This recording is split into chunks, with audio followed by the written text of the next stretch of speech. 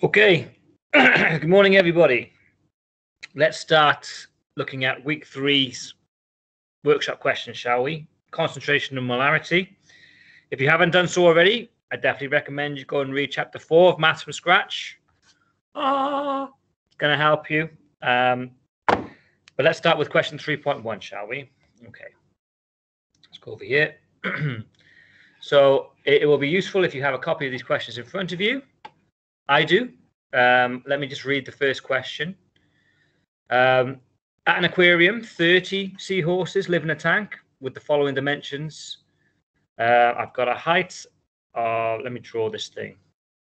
Um, right, it's got a height of 30 inches. Oops. height of 30 inches. Okay. I've got um, a length of 60 inches. It's a bit longer than this high. And I've got a depth of about 25 inches. Okay, let's draw that. So what have I got there? 30 inches. 30 inches high. I am 60 inches wide and 25 inches deep. Okay. So the question is for these seahorses to survive comfortably, they require about 5% weight of volume sodium chloride dissolved in their water. So a concentration of 5.0 percentage weight volume. Now, what exactly does that mean? Before we even do anything else, what does 5% weight volume mean? Let's write that out. 5% weight volume. Now, this this unit of concentration is a bit of a funny one. Um, but bear with me. What this is essentially saying is that there were five grams dissolved in a 100 milliliters of water. That's what that means, okay? So, for example, if you had, uh, I don't know, a gram of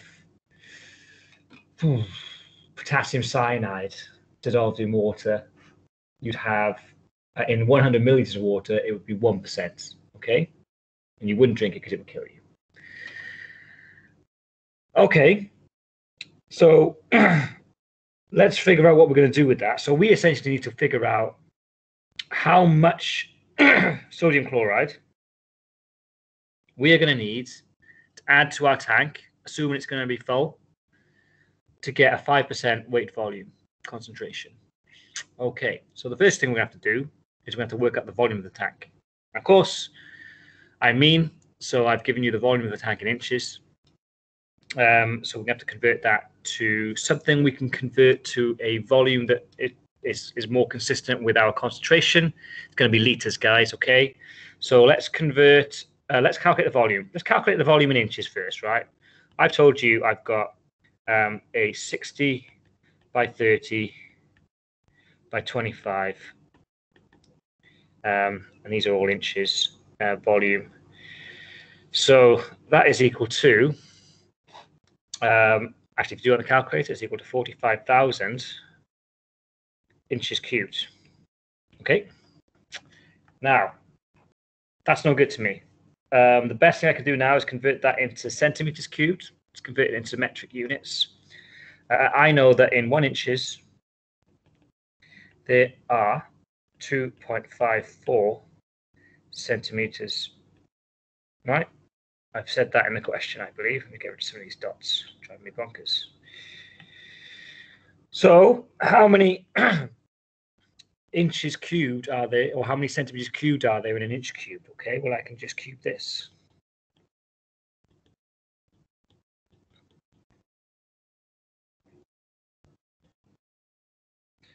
Okay, and if you do that on a calculator, you get 16.387064. Excuse me. Um, and what I should really do is I should really express this to one, two, three significant figures, right? Because that's that's the minimum number of significant figures I've got in the calculation. But I'm actually going to do um, another calculation with this. So to convert from inches cubed to centimeters cubed, I'm simply going to multiply this number by this number. Okay, so let's do that. Uh, volume is 45,000 times 16.387064. And that is going to give me uh, 737,417.88, which is actually equal to 737,000 centimeters cubed. Okay, so I've rounded at the end of the calculation to three significant figures. Okay. Right. I could also rewrite that. In, so if, if these were a bit too ambiguous for you, I could rewrite that as 7.37 times 10 to the 5 centimeters cubed. Okay. And then that is explicitly three significant figures. Okay. So do we know? So that's that's great, but still not in liters. So do we know how many centimeters cubed there are in a liter? There are a thousand. Okay, so one liter is equal to a thousand centimeters cubed. Okay, so this volume in liters is actually 7.37 times 10 to the 5 divided by 10 to the 3. Okay, and what I can do here is I can just divide, I can actually subtract the indices. So 5 minus 3 is going to give me 7.37 times 10 to the 2 liters, or 737 liters. Okay, makes sense? And that, that's about right, I think. It's a big tank, and it's going to take hundreds of liters of water to fill it up, right? okay, so now I know what the volume of this tank is, and I know the concentration. Um, the question, remember, was how much in grams sodium chloride do we need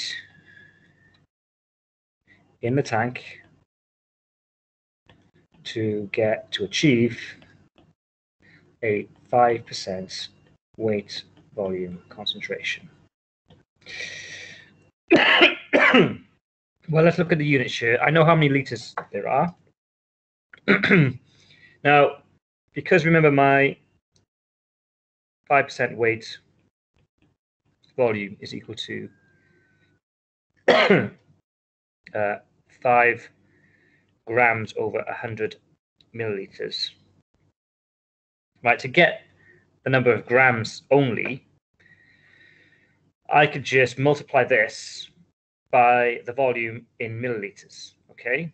Now the volume in milliliters is 737 times 10 to the 3 milliliters, which allows me to cancel out these units, okay? Now if you do that in the calculator, you get a number bigger than you expect. You get uh, 3 Remember, this is still two sig, three sig fig, three, six, eight, five, zero grams, or three, seven thousand. Why have I done two sig fig there? Ah, because this is five point oh. This is two sig fig. Okay, three seven thousand grams, um, or let's do it, thirty-seven kilograms right? So that seems like a lot, but it's right. I checked. Okay, let's move on. If I can figure out how to stop recording. There you go.